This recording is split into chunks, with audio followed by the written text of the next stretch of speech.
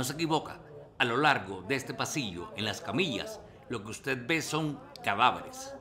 Las cifras de COVID-19 volvieron a subir este miércoles en Cuba, con 8.317 nuevos casos, 86 fallecidos y 39.629 confirmados activos según fuentes oficiales. Por otra parte, informan desde la isla que los certificados de defunción son alterados. Ellos lo están dando como que te dio un paro respiratorio y no lo ponen como que murió por el COVID. Pero sin embargo, esas mismas personas, cuando lo llevan a velatorio, lo ponen en una bolsa sellada, igual con el mismo procedimiento que se hace con las personas que tienen COVID. Entonces, si están muriendo por el COVID, ellos lo que no quieren es que se eleven las cifras.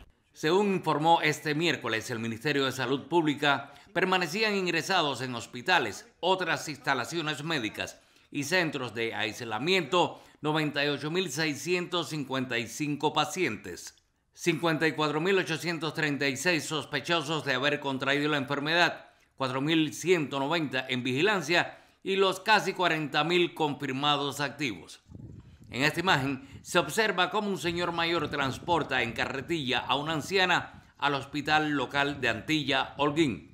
Precisamente desde esa ciudad, el doctor Ramón Zamora informó ya los hospitales han colapsado a tal, a tal extremo que los mismos hospitales emergentes pues ya apenas tienen cama para poder ingresar a los pacientes familiares desesperados por tratar de buscar un espacio y salvar a los que aman. Han tenido que incluso sobornar para poder comprar una cama. Volviendo con el tema de las cifras, otras provincias con grandes afectaciones por la enfermedad son Santi Espíritus, 878, Las Tunas, 838, Santiago de Cuba, 679, La Habana, 652, Camagüey, 618, Villa Clara, 494 y Mayabeque, 442. Bueno, pues estas personas fallecen, le dicen que mueren por otras causas y eh, así lo reportan los mismos galenos, o sea, personas, yo diría que personas inescrupulosas, ¿no? Eh, con un título pero inescrupuloso, porque primeramente tiene que hacerse valer la verdad.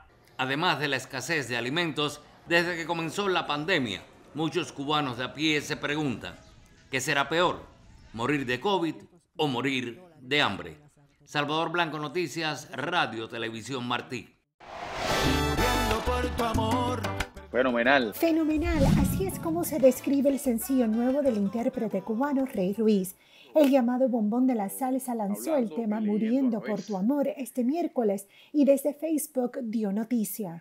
Un sencillo más a, todas las plataformas que se llama Muriendo por tu amor.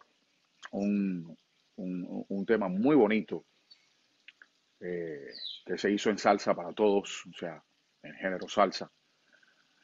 Eh, y quisiera que lo escucharan. El, tema Muriendo por tu amor, ojalá que les guste, que lo bailen, que lo, que lo canten.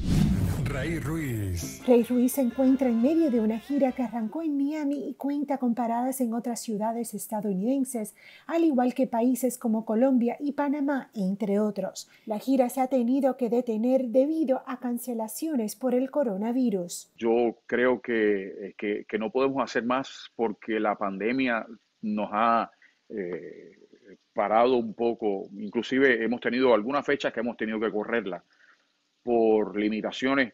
Rey Ruiz llegó a Estados Unidos en 1992, conocido como el Elvis de la salsa, ha captado la fama internacional a lo largo de Estados Unidos, América Latina y Europa con sus sencillos como Media Mitad que cuenta con 120 millones de vistas en YouTube y No me acostumbro, cuyas vistas alcanzan casi 66 millones.